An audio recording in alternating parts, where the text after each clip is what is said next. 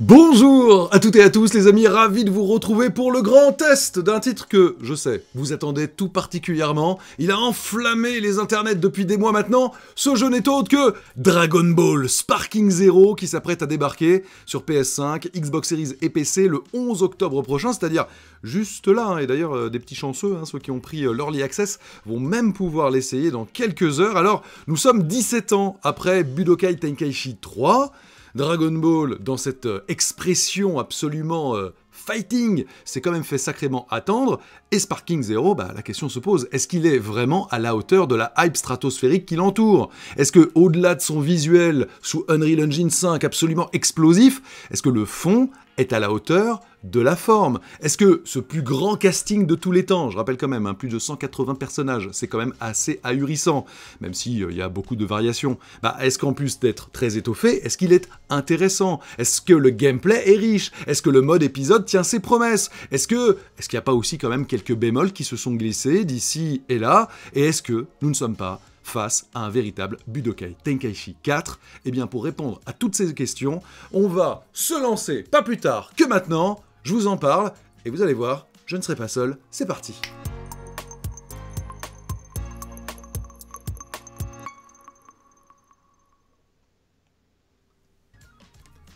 Mesdemoiselles, mesdames, messieurs, bien le bonjour Avec Carole, comment vas-tu Carole? Ça va bien et toi, Julien?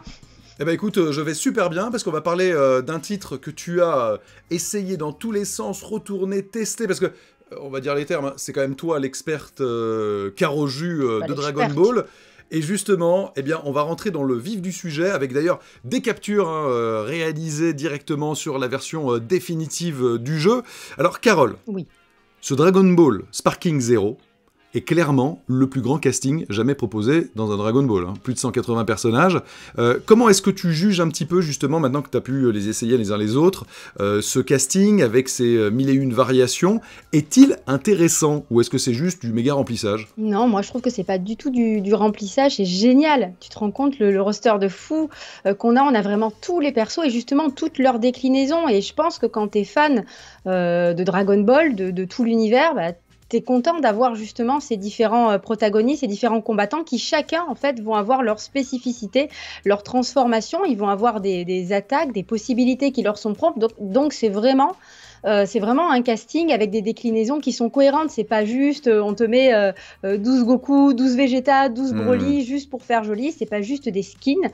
Euh, effectivement, ils ont vraiment voilà des capacités bien à eux qui leur sont propres. Donc il faut le savoir. Moi, j'ai bien appuyé dessus sur euh, euh, sur mon test et c'est ça qui va être aussi intéressant et qui fait la richesse de ce roster. Donc euh, pour moi, c'est vraiment un, un casting incroyable et effectivement, je crois que le plus c'était 164 me semble-t-il. Vous me corrigerez si je me trompe.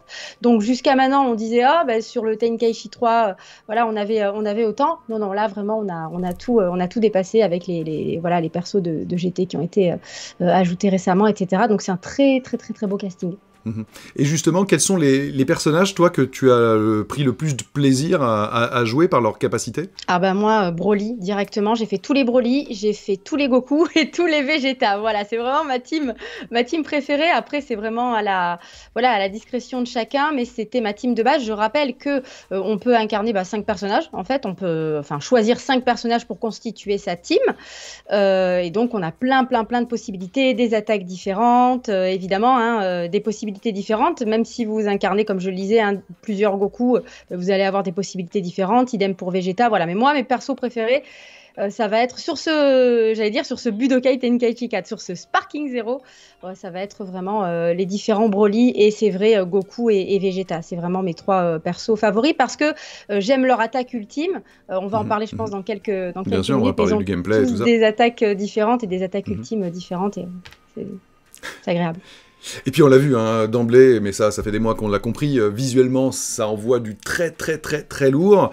Euh, Est-ce que le gameplay est aussi riche que le visuel est aussi époustouflant? Franchement, oui. Alors, ce qui est intéressant, c'est que tu vas quand même pouvoir prendre le gameplay assez facilement en main. Alors, quand je dis facilement, il faut voilà, il faut quand même avoir un minimum de concentration. Si vous connaissez bien les Budokai Tenkaichi, vous serez pas voilà, vous serez pas dépaysé, mais il y a quand même quelques petits ajustements. Mais même si c'est facile à prendre en main, c'est très très intense et il y a pas mal de profondeur dans le gameplay. Alors, tout tourne autour de la recharge du ki. Hein, ça, voilà, hmm.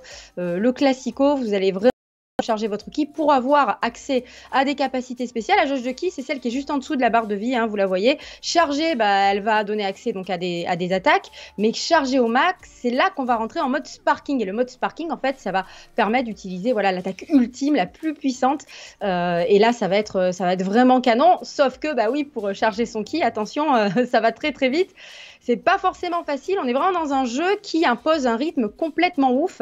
Euh, donc heureusement, hein, il n'y a pas que ça. On va pouvoir euh, voilà euh, utiliser des attaques beaucoup plus classiques. On va aussi hmm. pouvoir utiliser un rush, voilà un dash rush qui va nous permettre de se rapprocher très rapidement de l'ennemi. on va pouvoir aussi se téléporter directement derrière lui pour pouvoir le surprendre. Ça c'est très difficilement contrable par l'ennemi. D'ailleurs, on va pouvoir contrer l'ennemi. on va même pouvoir contrer des contres. donc c'est à partir du moment en fait où on arrive à maîtriser euh, toutes ces petites subtilités, euh, vraiment on s'amuse, ça va très très vite, c'est ultra nerveux, ultra dynamique et, euh, voilà, on s'amuse vraiment et comme je le disais, ben, on va avoir vraiment une belle variation dans tous les personnages qu'on va incarner et puis plein de modes de jeu différents, donc il y a plein de plaisirs différents aussi, c'est un jeu très complet. Mhm. Alors justement, si on continue un petit peu sur le gameplay, c'est quoi les chiffres que l'on voit en dessous du, visage des, personnages? Alors les chiffres, bah, c'est effectivement, vous allez les faire monter au fur et à mesure que vous, euh, que vous combattez. En fait, en gros, c'est le nombre de compétences qu'on va voilà, euh, pouvoir utiliser, le nombre d'utilisations de capacités spéciales. Ça, au fur et à mesure des coups que vous allez donner, au fur et à mesure du combat, bah, ça, va, ça va augmenter.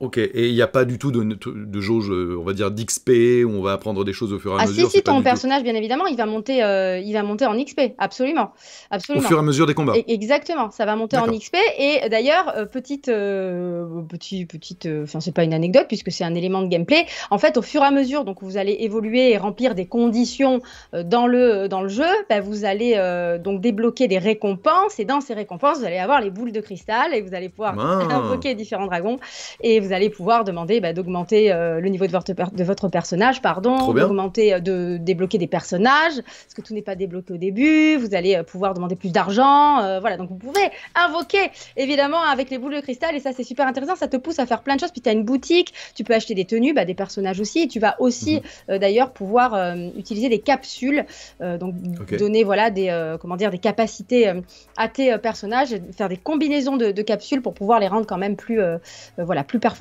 sur le terrain. Il y a plein de subtilités. Oui, parce que, question, euh, on a parlé tout à l'heure du casting. Ils sont pas tous débloqués de base. Non. Voilà, il va falloir euh, œuvrer un petit peu quand même. Il faut œuvrer dans la joie, bien sûr. Oui, tout à fait, évidemment. Alors justement, parmi les différents modes, bah, il y a le mode épisode euh, qui normalement est censé euh, retracer un petit peu justement euh, certains arcs, certains passages de l'histoire de Dragon Ball. Est-ce qu'il tient vraiment ses promesses? Parce que ça, c'était quelque chose qui était très attendu par les fans. Ah bah, alors, il tient ses promesses, oui et non. Ah. C'est-à-dire que moi, j'ai préféré la manière de, de se raconter qu'on avait par exemple dans Kakarot. tu vas avoir effectivement des points de vue différents. Tu vas pouvoir suivre l'histoire notamment, entre autres, de Goku, euh, Vegeta, Black Goku, euh, Gohan, euh, Piccolo. Et en fait, c'est très intéressant parce que je trouve que ça te permet vraiment de suivre tous les, voilà, tous les, tous les personnages. Il n'y a pas que Goku qui est souvent au centre des choses. Là, c'est vraiment intéressant, sauf que c'est vraiment les moments importants que tu vas voir dans ce mode histoire. C'est-à-dire que ça va être souvent des images fixes. on va te hmm. faire des résumés. C'est davantage résumé que raconté. C'est ce que je disais dans, mon test. Alors évidemment, hein, tu as quand même quelques dialogues, des introductions au combat, mais voilà, ça va être essentiellement les combats, les moments forts. C'est plus des résumés avec ces images voilà euh, fixes. Et je trouve que du coup ça fait pas attention je dis pas que ça fait bâcler mais mhm. voilà moi ça a été un petit peu on aurait pu s'attendre à mieux. Voilà. Alors ils avaient mhm. déjà hein, euh, évoqué ça dans, différentes interviews. Euh, d'ailleurs on en mhm. avait parlé avec Marty. Mais voilà c'est la chose que j'ai un peu regretté après le truc c'est que c'est tellement complet de toute façon au global et même dans le mode histoire. Bah, tu as tous ces personnages tu peux revivre leur histoire les arcs et tout. C'est tellement complet que c'est difficile quand même de faire le reproche parce que dans ce mode épisode, il n'y a pas tous les personnages. Voilà, non. il y en a 8, c'est ça? Il y a, 8 personnages, etc. donc euh, c'est quand même cantonné. Voilà. Pas tout le monde, mais c'est quand même cool. Effectivement. Alors, on a vu euh, le gameplay, on a vu l'intensité des combats, euh, on ne l'a pas dit, mais vous l'avez vu évidemment, qu'il y a énormément des euh, destructibles, que les, affrontements peuvent se dérouler bah, dans les airs, sous l'eau, hein, vous le voyez ici. On peut exploser même des bâtiments et continuer le combat à l'intérieur, donc quand même là c'est franchement extrêmement explosif. Cela dit, maintenant que nous allons rentrer un peu dans la phase des bémols, parce que vous savez, dans les grands tests, à chaque fois, il y a les forces et les faiblesses eh bien, on peut quand même noter, Carole, quelques problèmes de caméra. L'action n'est pas toujours ultra lisible, c'est ça hein? Bah écoute, non, moi j'ai pas trouvé ça, justement. J'ai trouvé que c'était ah le contraire. Ouais, moi j'ai trouvé que la caméra. Alors effectivement, la caméra elle va à 100 à l'heure. Elle va à 100 à l'heure, il y a plein d'effets, il se passe plein de choses, ça bouge énormément. Mais justement, j'ai trouvé, et je le disais dans ma preview et je le répète ici, moi j'ai pas trouvé que ça manquait de lisibilité. Euh, alors il peut y avoir des moments où c'est entre guillemets moins lisible que, qu'à certains autres, mais moi j'ai trouvé. Ça t'a pas trop dérangé? Ça m'a pas dérangé. Euh, ça m'a pas dérangé du tout. Moi, j'ai été dérangée par d'autres choses, mais pas par la caméra. Ça va très très vite, mais je trouve qu'elle suit parfaitement, enfin qu'elle suit bien l'action, qu'elle est assez intelligente. Et, euh, même s'il y a énormément de choses qui se passent à l'écran, même si ça va très très vite, même s'il y a beaucoup d'effets, euh, des magnifiques effets d'ailleurs au passage, bah, ça ça m'a pas dérangé. Ok, alors tu disais que justement il y avait des éléments qui en revanche t'avaient un petit peu plus déçu, ce seraient lesquels? Alors bah il y a plein de moments où je suis passée, euh, je suis passée un petit peu dans le décor, euh, il y a des moments où il y a eu quelques petits bugs aussi au niveau des personnages, des ennemis. Par exemple, il y a euh, certains moments dans les combats, eh ben mon ennemi, mon adversaire ne bougeait plus. Donc voilà, pour un ah jeu de combat c'est quand même un peu problématique, et ça me l'a fait quand même plusieurs fois, il bougeait plus, alors bon je pouvais me défouler sur lui, mais c'était pas super, voilà, super intéressant, et puis il y a d'autres moments ça, où... ça c'est problématique quand même, j'espère que ce sera corrigé. C'est ça, ça bougeait pas, ou alors il mm. était allongé par terre puis il se levait plus, bon tu vois, à un ah. moment donné, celle, par exemple, je l'ai dégommé, mais bon, il bougeait plus, tu vois. Donc, c'était, c'est plus des choses comme ça, moi, qui m'ont dérangé. Effectivement, le mhm. côté un peu euh, résumé du mode histoire. Mhm. J'ai pas eu de, enfin, j'ai pas eu de problème majeur avec la caméra, me concernant en tout cas. Ok. Est-ce que, euh, Carole, euh, justement, tu l'évoquais un peu, les cinématiques qui, étaient, qui sont un peu moins folles qu'on aurait pu l'espérer, finalement, qui sont moins bien que dans le jeu, les, les, coups spéciaux, etc. C'est ça hein? C'est Alors, attends, est-ce que tu peux répéter la question? Bah, juste, que, que, les cinématiques sont un peu moins folles qu'on aurait pu l'espérer, et finalement, le jeu pendant les combats est parfois plus spectaculaire que pendant les cinématiques. Ah bah moi oui effectivement je trouve que c'est beaucoup plus spectaculaire pendant les combats. Le non j'ai trouvé les cinématiques très euh, très classe mais c'est vrai que c'est pendant les combats. on voit, on voit qu'elles sont un peu posées quoi. Bah disons que euh, voilà le mode histoire j'aurais préféré avoir euh, avoir des cinématiques effectivement en mode vraiment on se pose et on a des trucs d'exception. C'est davantage pendant les combats que tu as ce genre de, de moments mais c'est pas forcément voilà ce qui m'a ce qui m'a le plus dérangé. D'autant que en plus dans le mode histoire tu vas pouvoir faire euh, des petits euh, des choix qui vont faire que ça va un peu changer justement, voire totalement changer euh, les, les événements que tu connais, si on connaît bien le manga, l'animé. parfois ce sont des petits changements, parfois des changements un petit peu plus conséquents, mais tu vas avoir cette liberté-là et j'ai trouvé que ce côté très créatif, tout comme les combats qu'on va pouvoir personnaliser, c'était intéressant pour la communauté parce qu'on va vraiment pouvoir voilà, faire des choses à sa sauce, créer des combats et des situations qui ne sont pas arrivées en réalité. Donc des choses inédites. Et j'ai trouvé qu'en là, bah, c'était euh, c'était très complet. Tu as le championnat aussi. il y a énormément de choses dans ce Sparking Zero qui font que euh, c'est quand même euh, hyper généreux et c'est difficile de dire oh là là, ça, ça, c'est pas terrible. Voilà, de mon point de vue. En revanche, toujours parmi les petits euh, points faibles, tu as noté aussi, tu me parlais de, traductions qui sont pas très très ah, Oui, oui, complètement dans le mode euh, personnalisation en fait. Donc tu peux faire tes propres euh, tes propres combats. Donc tu vas choisir la reine, tu vas choisir les, combattants, tu vas choisir la musique, faire une petite miniature YouTube. L'idée c'est de partager avec les autres joueurs. Alors juste, j'interroge juste là. dans la preview, on se disait que ça été euh, assez prometteur, etc., mais on n'avait pas pu passer encore assez de temps. Maintenant que tu as passé plus de temps dessus, euh, que tu l'as testé, c'est aussi cool qu'on l'imaginait ah, Franchement, oui, c'est cool parce que tu te fais euh, voilà, ta miniature, ton titre, tu décides de la musique, tu te fais tes petites situations, tu peux partager. Après, ce qui va être cool, c'est tu peux mettre des mots-clés justement pour que les joueurs puissent plus facilement trouver tes combats. Ce qui va être intéressant de, de, de, voir, voilà, c'est quand bah, voilà, le jeu va sortir, on va tous partager, on va tous se partager nos, nos, combats, nos situations, et ça, ça va être très très cool. Donc je trouve que pour la communauté, franchement, c'est bien. En revanche, euh, sur euh, ces personnalisations, euh, il va y avoir, tu vois, des voilà les sous-titres en français. Il y a plein de moments où il y a des mots qui vont s'intercaler et ça veut rien dire en fait. C'est ah, mal traduit. Donc du style, je sais pas, ce combattant arrive et va sauver monde. tu vois des des, choses comme ça. Donc, Est-ce que ça sentirait pas un peu la trade paria, ça? je, Voilà, moi, mm. c'est pas, pas très très grave, mais, non, mais un quand même, ça te sort un petit peu du truc. Ça fait, tu sais, tout, euh, voilà, ça fait, fait un peu à l'arrache, quoi. Voilà, sur les sous-titres français en tout cas. Donc, En rappelant qu'il n'y a pas les voix en français. voilà, il faut juste choisir entre américain ou japonais. Voilà, faut choisir japonais. traduit en français, mais il faut prendre évidemment en japonais. en revanche, il y a quand même un bémol, ça je pense que ça reviendra assez souvent, c'est qu'au niveau du multijoueur, alors soyons très clairs, hein, il y avait le Tokyo Game Show, ensuite on est parti au Savoir Retro Games, euh, toi comme moi, on n'a pas pu tester le multi, en ligne, etc. En revanche, il y a du multijoueur local, mais le gros bémol, on vous avait déjà prévenu, mais donc euh, définitivement c'est comme ça, il n'est jouable que sur une seule arène, et c'est pas l'arène la plus folle du monde non plus, Carole. Voilà, bah oui, c'est ça aussi qui a contrarié euh, beaucoup de joueurs. Après moi, si tu veux, j'ai fait l'expérience solo. Euh, donc forcément, j'ai pas été trop confrontée à ça. C'est dommage, effectivement, mais au moins, il y a quand même cette possibilité. Moi, c'est pas quelque chose qui m'a dérangé, mais beaucoup, beaucoup de joueurs sont déçus de ça. Bah oui, t'aimerais bien explorer toutes les arènes parce que t'as la ville, euh, voilà, t'as les îles, t'as le Namek, euh, voilà, normal, détruite. En plus, tu peux choisir effectivement hein, les moments de la, journée. Donc il y a des, vraiment des décors en plus, comme tu disais. Hein. C'est destructible, c'est très très beau, il y a des ambiances et tu sens le souci du détail. Et bon, c'est vrai qu'on aurait aimé. Mais tout ça, c'est pas un multijoueur local. Voilà, exactement. C'est un peu dommage, mais bon, moi, c'est pas quelque chose qui m'aura plus dérangé que ça. Ok. Bon, et alors en termes de durée de vie, euh, tu, tu ah la bah, comment ah bah Franchement, pour moi, la durée de vie, elle est sans fin, elle est infinie, parce que tu peux faire euh, plein de combats personnalisés, tu peux, alors effectivement, il y a, y, a, y, a, y a, les modes histoire, une fois que tu les as fait, tu les as fait, mais à la limite, tu peux faire d'autres choix, donc euh, il y a une rejouabilité, et puis les combats, bah, tu peux les faire ad vitam aeternam, tu peux, voilà, tu peux, tu peux te faire plaisir, tu peux tester, tu te rends compte, 180 personnages, donc le temps de tous les tester, pour tous les maîtriser, pour tous les faire monter, pour tester toutes les attaques, pour moi, c'est un jeu vraiment qui a une durée de vie infinie, donc pour moi, c'est gargantuesque. Euh, et donc, bah, là aussi, c'est une des qualités du jeu. La générosité, elle est dans le contenu, elle est dans la durée de vie. Euh, et ça, c'est relatif bah, à tous les personnages, euh, voilà, puis à tous ces modes de jeu, puis toutes ces possibilités de, création aussi. Parce que tu vois, tu vas te faire par exemple le mode histoire, tu dis allez hop, je veux refaire, bah, je veux refaire d'autres choix. Alors parfois, c'est des choix un peu euh, ballots, du style tu prends pas Piccolo pour aller battre Raditz, tu prends Krillin, je sais pas, ou. Moi, j'aime pas Krillin. c'est le what if. Bon. Bah ouais. Alors, si, on. Et si on prend tout ça, Je, je, secoue dans le shaker les forces, les faiblesses qu'on a évoquées. Ton bilan euh, pour ce grand test, Carole? Bah, Mon bilan, c'est que c'est franchement euh, l'un des meilleurs jeux euh, Dragon Ball. Pour le coup, j'en ai fait pas mal, auxquels j'ai mhm. joué, parce que pour moi, c'est vraiment une expérience extrêmement complète.